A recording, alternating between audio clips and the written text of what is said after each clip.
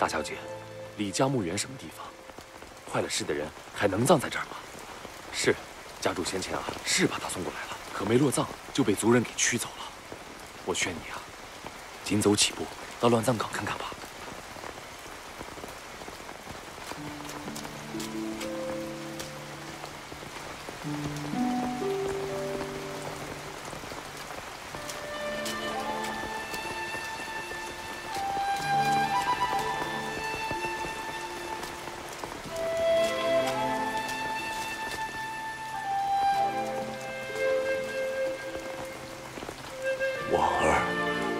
对不起你，希望你在九泉之下谅解我的难处。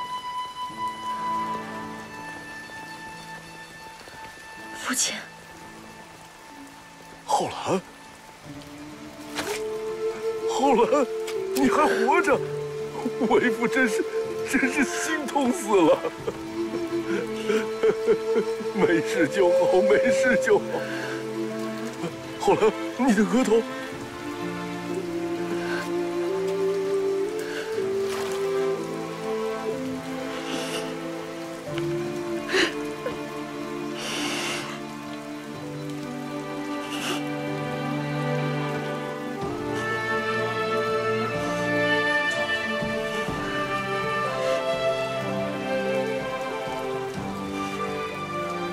后来，你不是为他们，你是怎么？父亲不问我为什么和人私奔。来这以前，我一直抱着一线希望。父亲一定是不知实情，才眼睁睁看着母亲屈辱而死，才看着我被人羞辱而无动于衷。可是从刚才到现在，连一个字都没有问过。所以。你知道我没有和人私奔，也知道我母亲被他们活活溺死。这件事，女儿你受委屈了。但是浩然，我还必须向余家做个交代，否则为父的好名声便不复存在，家族也会因此蒙羞。对不起，浩然，你就，你就当是为了父亲，为了李家，我向你保证。一定会尽快想办法让你恢复名誉，回到李家。相信父亲好吗？可是你能陪我一个生身母亲吗？十八年前，你出使楚国，路遇劫匪，外祖救了你，将亲生女儿许给了你，还让我母亲千里迢迢随你归赵。可婚后不过半年，高氏便看中了你。我母亲本是明媒正娶，正因为在赵国毫无根基。便被李氏族亲逼迫，尤其贬妾，如此羞辱，母亲都忍了。你想一想，他若到大街上嚷一句“一个贬妻为妾的人，品性何等败坏”，你还能当上赵国御史吗？当年高堂尚在，我也，我也是父命难违，被逼无奈呀。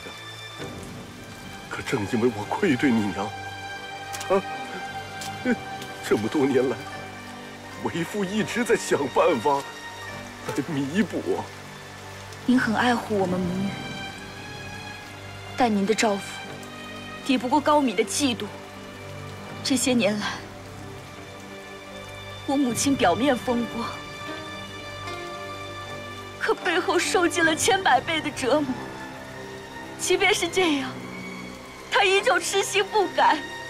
相信你那句白头偕老的承诺，浩然，你看这么多年，啊，无论从吃穿用度方方面面，你不都和秀玉一样吗？何必在意这个嫡庶之名呢？妾和埋者，见同公务，果真一样，我为何会落到如此地步？女不言负过，可女儿还是要斗胆说一句。您违背婚盟，剥夺了我和我母亲应有的名分，更默许了高敏对我们母女的戕害。父亲，您太自私了。我有我的苦衷啊！天大的苦衷，能挽回我母亲的性命吗？那你这这这为人儿女，有这么跟父亲讲话的吗？不待父母之命、媒妁之言，算学系相馈、于强相从，则父母国人皆见之。你自己知道羞耻吗？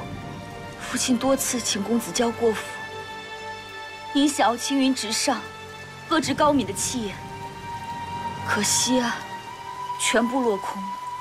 你真不知所谓！父亲，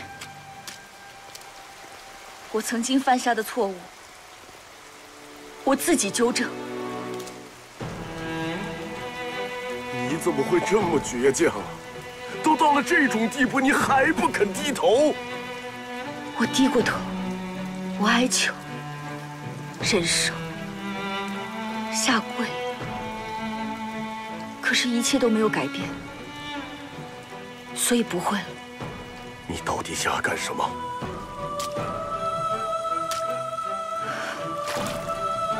以后，我再也不求任何人，绝不。